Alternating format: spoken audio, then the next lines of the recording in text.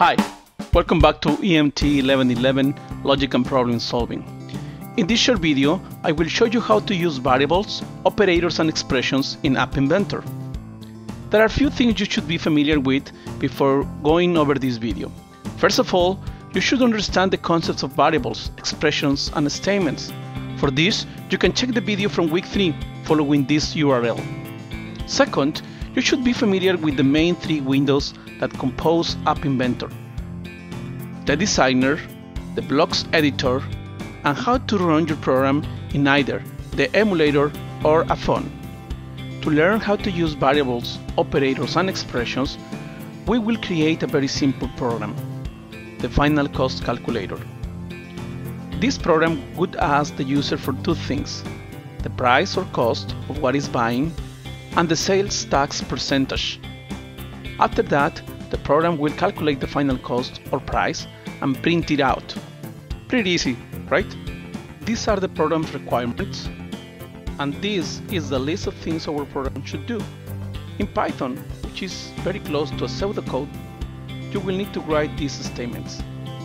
The whole program requires four variables. Price, to store the price or cost, tax percentage, store the sales tax percentage, total tax, to store the amount of sales taxes the user will pay, and the final cost, which is the original price plus the amount of sales taxes. This is what we would see if we run the program. To create a program with the same functionality in App Inventor, the approach is similar. However, there are several other elements involved in the process. Since this is a graphical environment, first we design the user graphical interface or GUI in the designer. Then we code our logic or program in the blocks editor.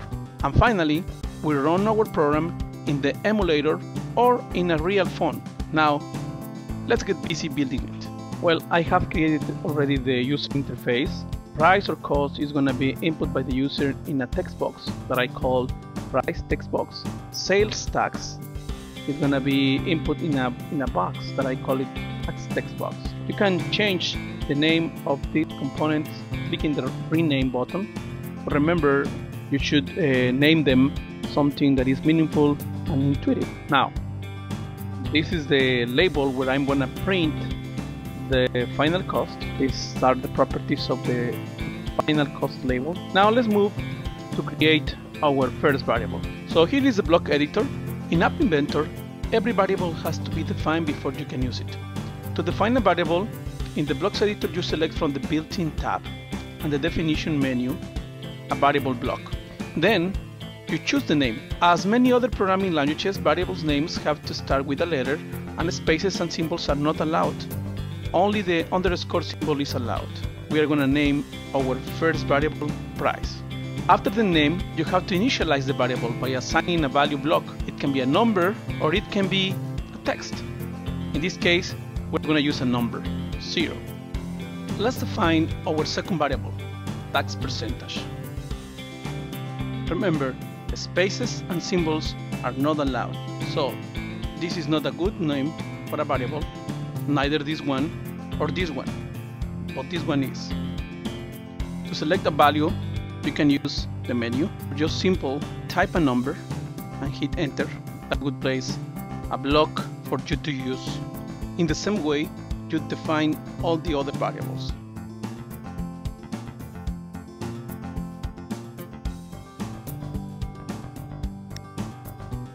Let's test our app. At this point it does nothing, but at least we have no errors. Now, let's keep working in our app.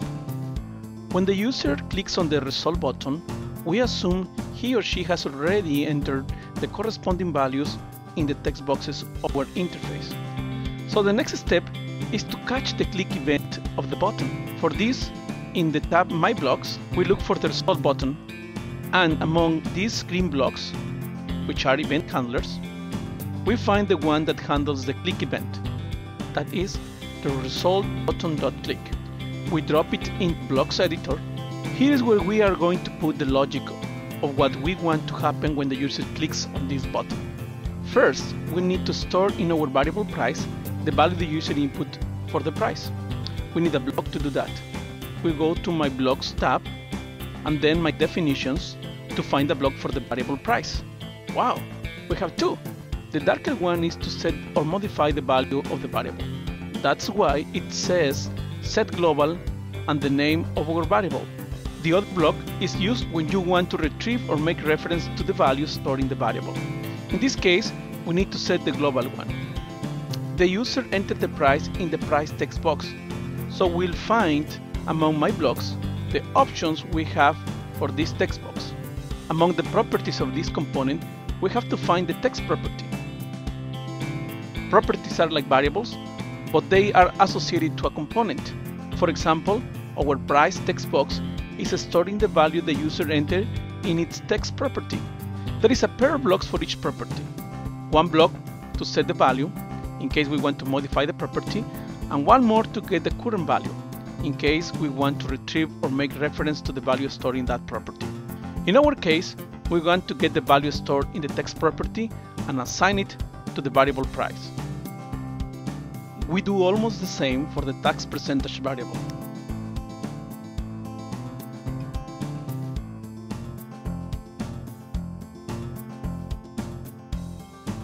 Then we need to calculate the total tax. For that, we need to create the corresponding expression using some of the math blocks or operators. Let's first get from the math menu the multiplication block. Then we have to multiply the price times the tax percentage. To obtain those values, we need the corresponding blocks from my definitions. You will have something like this. Now we need to divide the result of this expression by 100. Let's first get a division block. Let's plug the previous expression in the first socket. Then we plug the literal block, a number block, with the value 100 in the second socket. This is the expression representing the formula we need in this case. Piece of cake, right? Next step, we need to calculate the final cost, which is the sum of the original price plus the total tax. We need an addition block. We plug the block that gets the value of the variable price in the first socket and the block corresponding to the total tax variable in the second socket. That's it. We have our expression or formula. Finally, we have to print out the new final cost. We are going to display the final cost in the text property of the final cost label. So we get the corresponding block. In this case, I'm using a join block from the text menu, which concatenates two strings. In the first socket, I place the string final price with colon and space. In the second socket, I put the value stored in the final cost variable. Something interesting to notice is that the join block can concatenate a text or a string with a number. The conversion of, of the number to a string or text is done automatically. That's it. Let's test it. We input 100 as cost or price and 8.5 as sales tax. And this is the result, 108.5. Okay, this time we have succeed at the first try. Most of the time this doesn't happen. Try to code incrementally. Code a little, test your code, and then keep coding and repeat. Okay, let's summarize what we have learned. This is the way you define variables. This is the way you update or set a new value for a variable. You can create expressions and assign them to variables combining several math blocks. Please review and practice the concepts presented in this video and stay tuned for the next one. I'll talk to you soon.